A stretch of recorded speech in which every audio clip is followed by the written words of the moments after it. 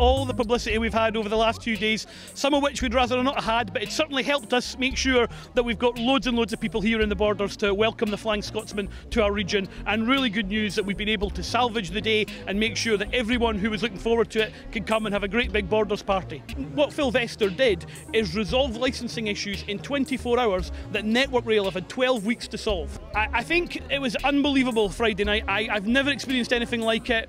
Um, we had to do a huge amount of work working with ScotRail and others to try and salvage the situation. All of us up until 2 o'clock in the morning, numerous conference calls. Nobody could believe that this had happened, and we simply had to make sure that this problem was solved and that we got the train into the borders, and that's exactly what ScotRail did. Let's just say he got a hold of Network Rail, he sat them round a table, he basically found out what the problems were, he got a hold of engineers, he put them on the ground, and he solved the problems. And he basically said, This trip has to happen, and ScotRail are going to make it happen.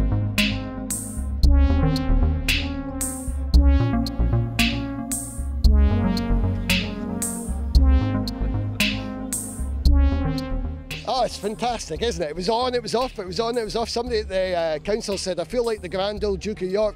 I marched them up to the top of the hill, I marched them down again, and we're back up, and the sun's shining, and, and it's magnificent.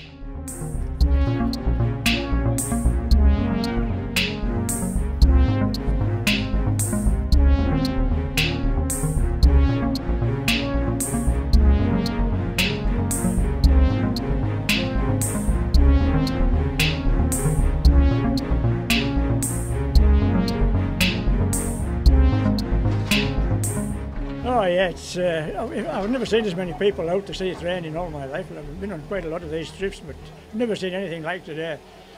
The building of this line and the re rebuilding of this engine it makes it all worthwhile.